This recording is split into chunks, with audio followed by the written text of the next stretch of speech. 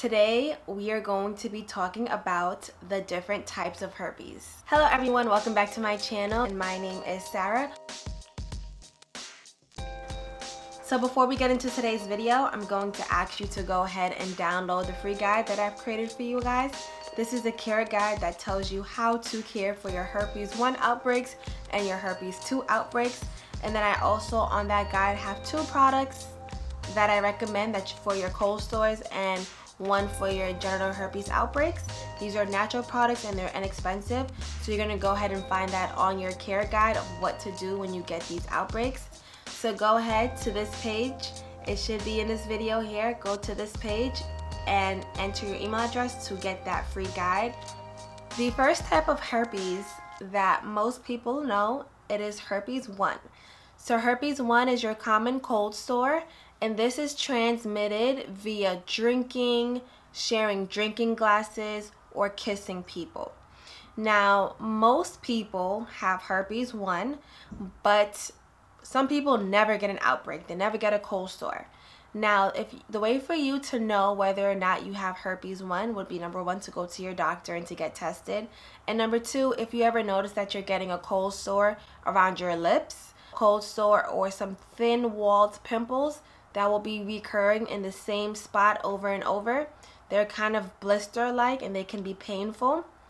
And that can happen on the corners of your lips. It can happen on your gums. It can happen on your eyelids so pretty much we see that, I want to say anywhere you have a mucous membrane, but those are some of your mucous membranes on your face.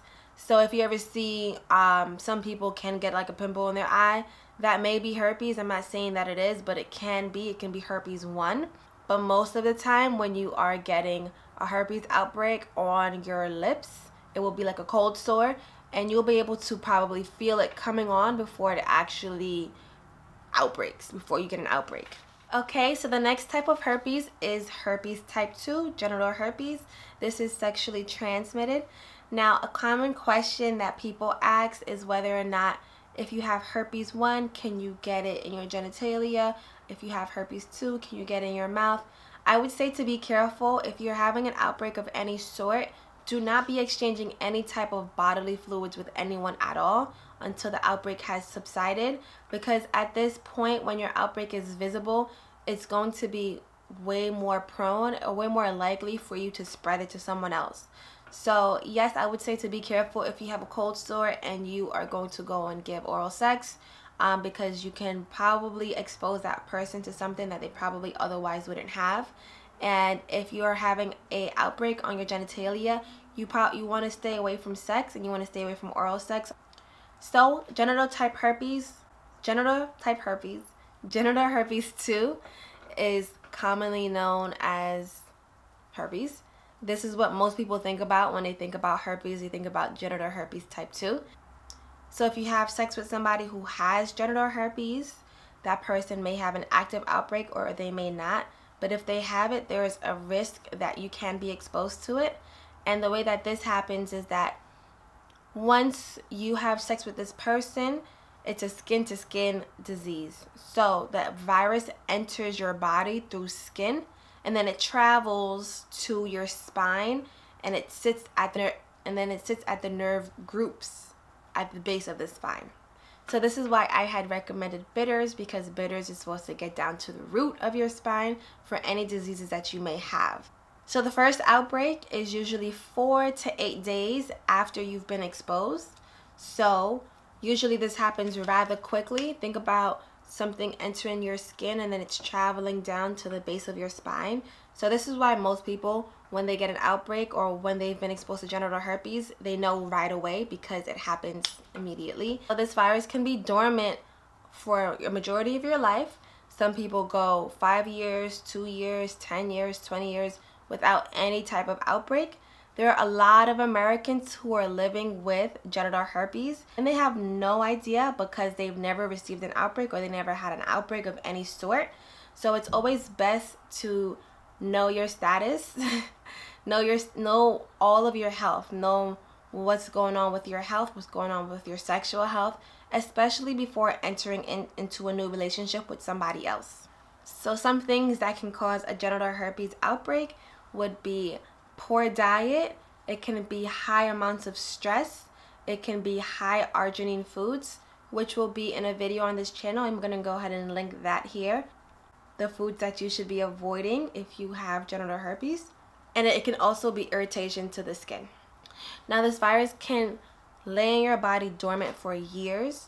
So you your everybody's body is different everybody's body reacts to viruses and invaders and things of that nature differently.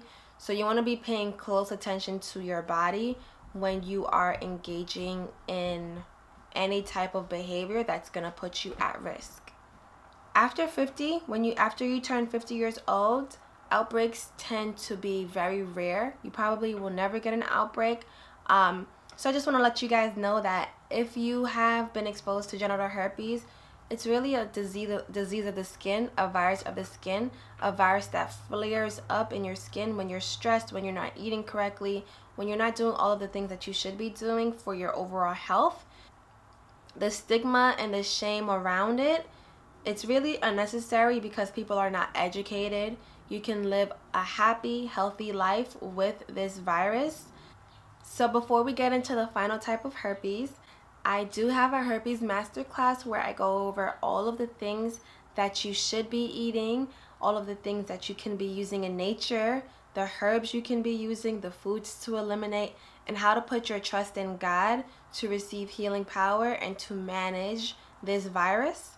The class has almost over two hours of content where I show you the blueprint of what to do if you find yourself in this situation. So that class is going to be linked in the description bar as well. And I hope to see you all in the class. And then the last type of herpes that we have is herpes type 3. And this is also known as shingles.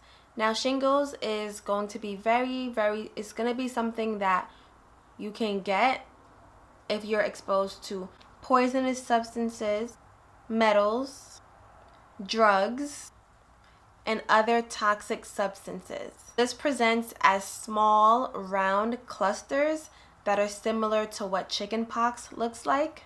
It's the same virus as the chickenpox, but just what it happens when you are an adult. Herpes type 3, which is also known as shingles, usually occurs after the age of 50.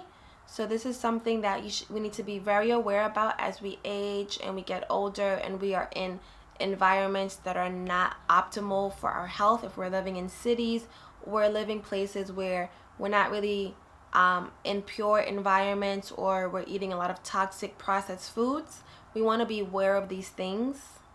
If you are experiencing shingles the one thing that I'm going to say is to be very very careful of if you are experiencing a shingle in your eye because this can lead to blindness.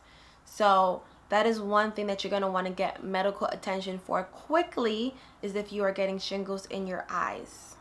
Some key things to do if you have herpes type 3 is going to be to clean out your bowels frequently.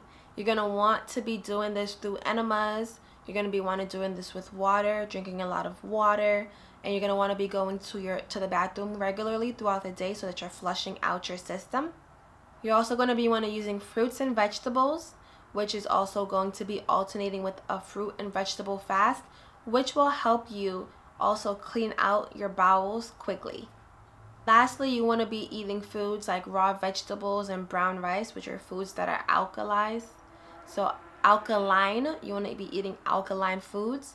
When you have shingles, there are so many other things that you can do. And if you guys want to see me do another video about shingles, you can go ahead and comment down below that you would like that and I can get that video out to you guys next.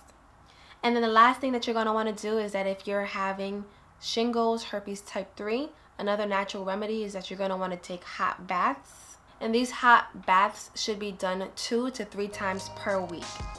So that is what I'm going to leave you with today. So again, you guys are going to go ahead and download that guide where I'm going to have everything kind of written out for you in a nice way for you to follow for you to start making these changes to your life if you have herpes.